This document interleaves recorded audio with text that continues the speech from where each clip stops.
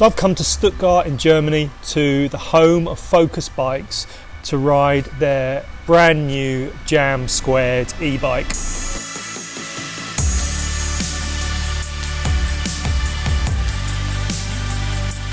Now one of the most interesting things about the new Jam Squared is it comes with the brand new Bosch Performance CX motor.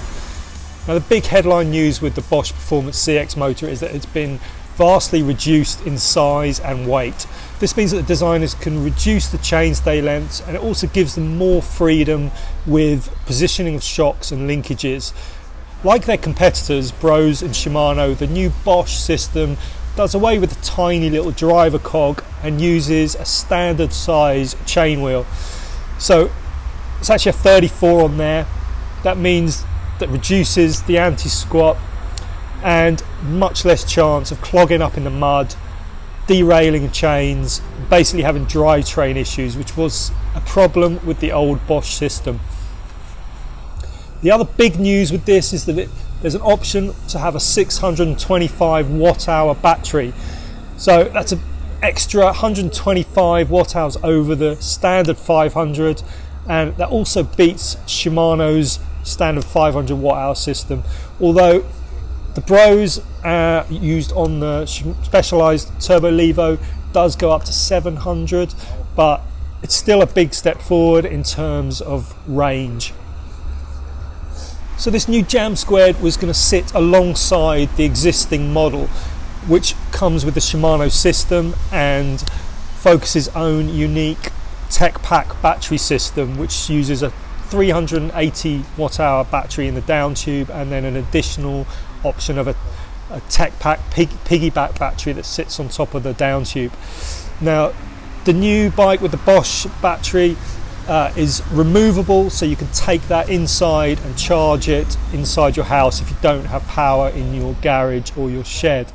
It's also a trail bike through and through, 150 millimeters of travel front and rear.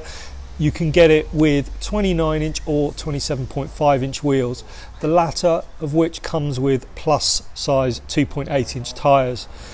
It actually uses the same frame. So what Focus has done is incorporated a chip in the dropout which allows you to switch the uh, wheel sizes over and keep the geometry kind of around about the same. So you can adjust the BB height with that uh, and it will also affect the chainstay length slightly as well. There is even a uh, mullet bike in the range which is, uses the, the old uh, Shimano system.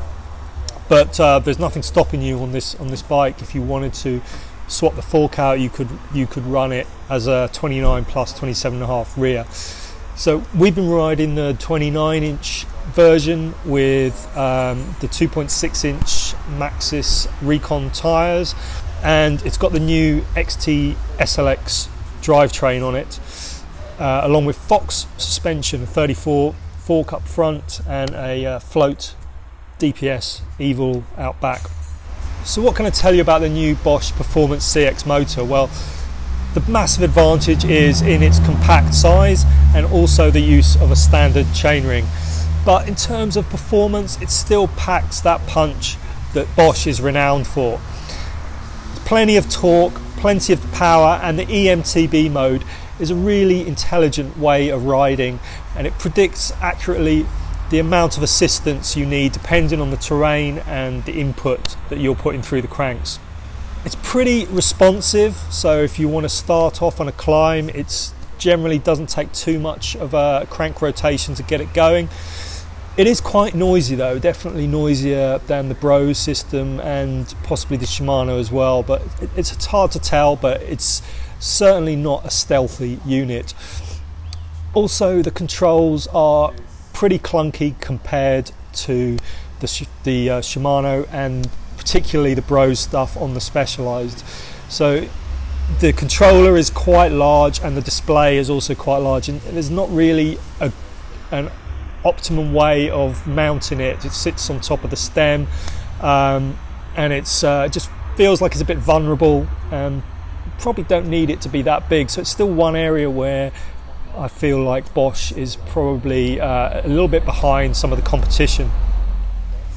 In terms of ride feel, this is a pretty plush bike. It's it's definitely on the the, the softer side of um, trail bikes and enduro bikes. It's it feels like if you push it too hard, it doesn't really want to uh, respond. It lacks a little bit of support and ramp up. It's definitely one that uh, I could see being good for someone who likes just kind of riding trail centres, uh, wants good suspension performance when they're pedaling and climbing, but doesn't want to go and smash into berms and um, hit massive jumps and stuff. It's, it's definitely kind of not that sort of bike with the setup here with the with the Fox fork and Fox shock, which which I think in the 34 guys kind of lack a little bit of support.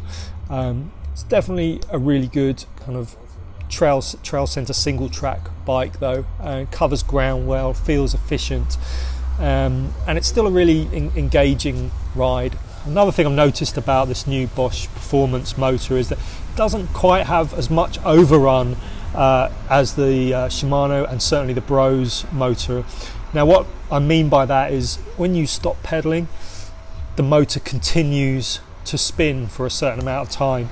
And on the Brose and Shimano in, in boost mode, it's uh, really noticeable how long that uh, that power can last for, and that can be used to your advantage, and sometimes it's to your disadvantage.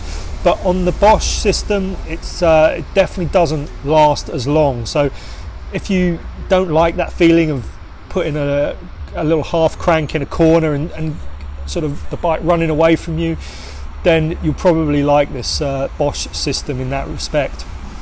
Now the new Jam Squared is only available in aluminium frame, although the older model with the Shimano system will be available with the carbon frame, but it's not the same frame as this. So obviously the mounting points are different. Um, the geometry is different. It doesn't have the the flip chip at the rear. So the kind of old bike and new bike are going to coexist for a while. The old bike is going to come now free with the tech pack, which is going to be a massive bonus for anyone who really wants to increase increase their range.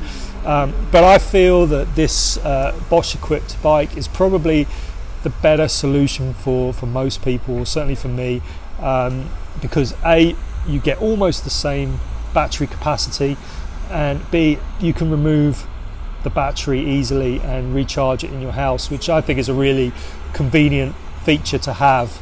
So that's a few new details about the new Focus Jam Squared. So hope you like the video. Please remember to like and subscribe and uh, hit us up with some comments below. See what, tell us what you think about the, the new Jam Squared.